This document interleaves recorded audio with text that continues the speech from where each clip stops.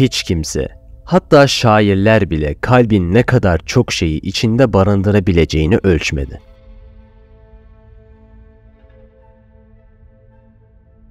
Sanmıyor musun ben senin için yaratıldım? Adeta beni sipariş ettin ve sana giyilmek üzere teslim edildim. Beni bir saat süsü veya düğün çiçeği gibi takmanı istiyorum.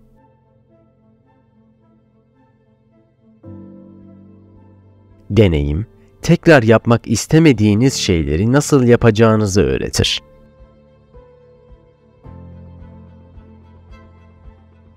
Ben yalnızca kendi hayal gücümden bu harika niteliklerle donattığım başka biri olduğumda gerçekten kendim olurum.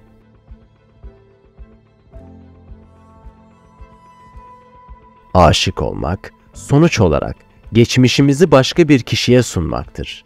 Çoğunlukla o kadar kontrolsüz ki artık gevşek ip uçlarını tek başımıza yönetemeyiz.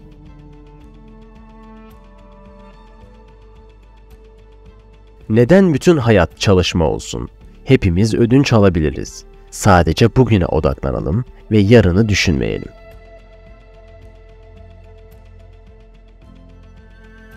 Kadınlar, onlardan dokuzu ya son anı kapmaya çalışır gibi ya da şehitlikle kabullenmeyle yaşamın sonuna kadar yaşamazlar. Ya yarın ya da ertesi gün ölmezler. Acı dolu sonlardan herhangi birine kadar yaşamak zorundadırlar.''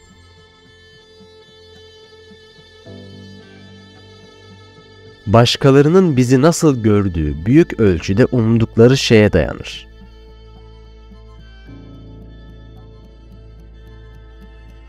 İnsanlar almanak gibidir. Aradığınız bilgiyi asla bulamazsınız. Ancak rastlantısal okuma zahmete değer.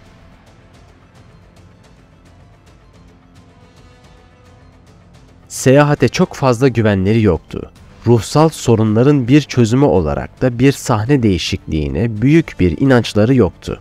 Sadece gitmekten mutluydular.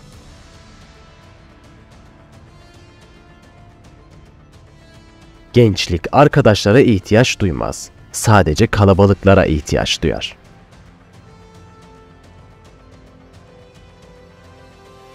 Okuyamıyorum ya da uyuyamıyorum. Umut olmadan, gençlik olmadan, para olmadan sürekli ölümü dileyerek oturuyorum.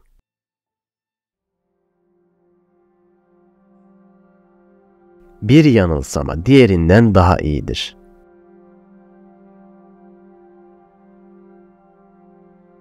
Baba, çatışmanın karakteri geliştirdiğini söylerdi.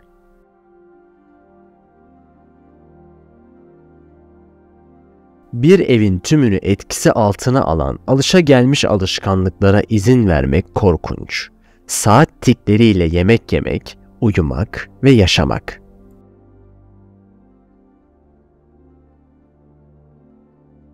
Bir şey kendinizi tatmin etmenin bir türü olabilir ve diğer insanlar için büyük olmayabilir. Ancak o sizin için büyük bir başyapıt kadar önemlidir.''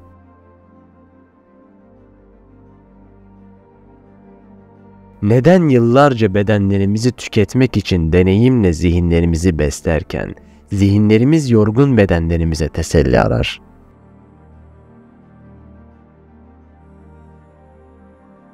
O adamlar beni sadece süs olarak görüyorlar ve beni tanımadıkları için aptallar.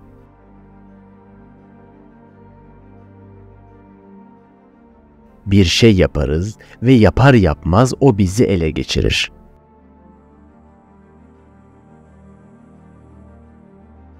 Değil mi ki harika bir çift olacağız? Senin kötü kalbinle, benim kötü başımla. Ama birlikte belki değerli bir şeyimiz olabilir.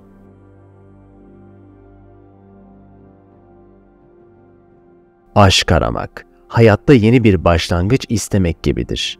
Başka bir şansa.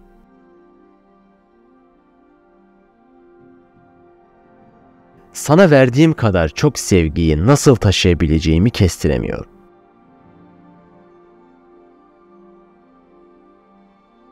Belki de başkalarının bize dair fikirleri kendi fikirlerimizden daha gerçektir.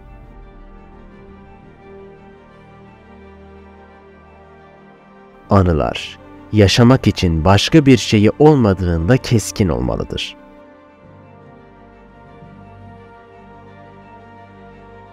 Tuhaf değil mi?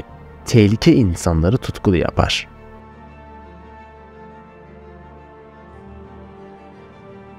Sıkıcı olmadığı için sıkılmayı reddetti.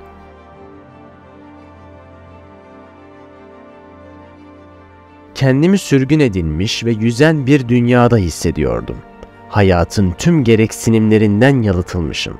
Sadece şeyler satın alma gereksinimiyle.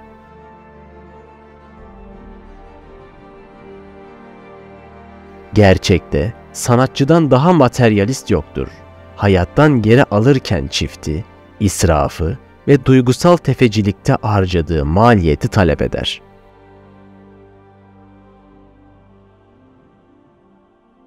Daha yakından bakın ve olağanüstü, gizemli, gerçek ve doğru olan bir şey göreceksiniz. Asla göründüğümüz gibi olmadık.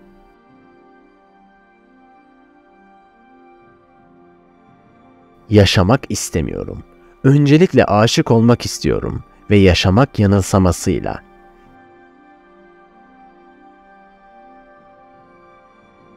Tek istediğim her zaman çok genç olmak ve sorumluluktan uzak, hayatımın kendime ait olduğunu hissetmek, kendi isteğim doğrultusunda yaşamak, mutlu olmak ve ölmek.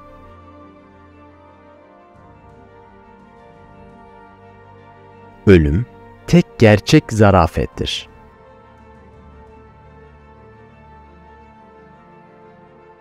Seni seviyorum. Hatta hiçbir benliğin, hiçbir aşkın veya hatta hiçbir yaşamın olmasa bile seni seviyorum.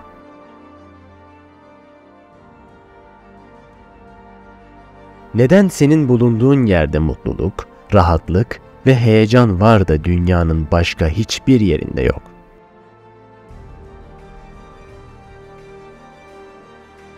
Güneş banyosu yapıyorum ve saatleri dinliyorum. Çam ağaçlarının altında şekilleniyor ve dağılıyorlar. Öğle saatlerinin reçinemsi sertliğini kokluyorum. Dünya, mavi bir sis perdesiyle uzaklıklarda kaybolmuş durumda ve anlık, ince ve sınırlı bir güneşte uyuyor.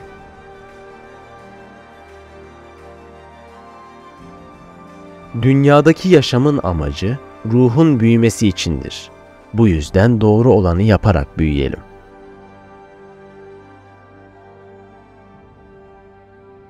Aşk acıdır ve her şeydir. Geri kalanı ise duygusal dilenciler içindir.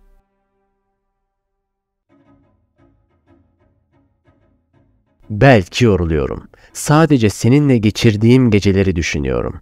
Onları sıcak ve gümüşü istiyorum.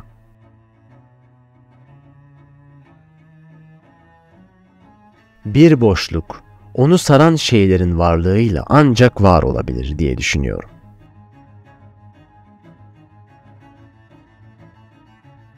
Anlaşılmaz olan her şey 35 yaşın altındaki birçok insan için cinsel bir anlam taşır.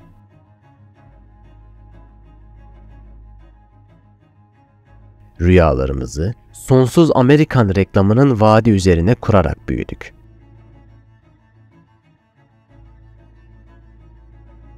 Burada yapılacak hiçbir şey yok. Sadece manzaraya bakmak ve yemek yemek.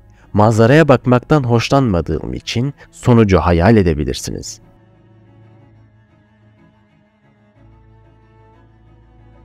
Tüm bizi neredeyse yakalayacak şeylerden uzakta çok mutlu olacağız.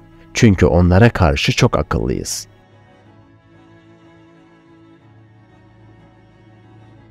Sonsuza kadar ayaklarımızın altından sürüklenerek devam edemezdik.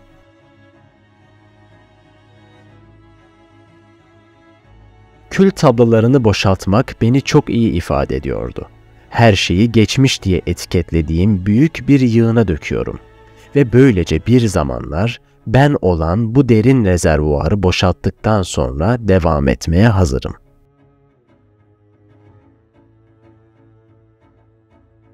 Bu, insanlar üzerinde sosyal üstünlük kurduğu yollardan biriydi. Oturur, izler ve onları korkutana kadar bekler. Sonra aniden dostça ve özgürce olur ve korkutucu olduğu kadar cazibeli olurdu.